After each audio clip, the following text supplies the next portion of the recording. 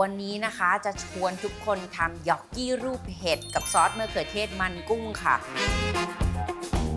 เราปั้นเสร็จแล้วค่ะตอนนี้เราก็จะต้ม หลังจากได้ยอกกี้รูปเห็ดแบบนี้แล้ว เดี๋ยวเราจะมาทำซอสมะเขือเทศมันกุ้งกันนะคะโอ้เชฟท้องร้องอะเราตักเสิร์ฟโอ้เชฟน่ากินมากมากเลยอะ แล้วก็ทำง่ายด้วยอะ เรียบร้อยแล้วค่ะยอกกี้รูปเห็ดกับซอสมะเขือเทศมันกุ้งค่ะ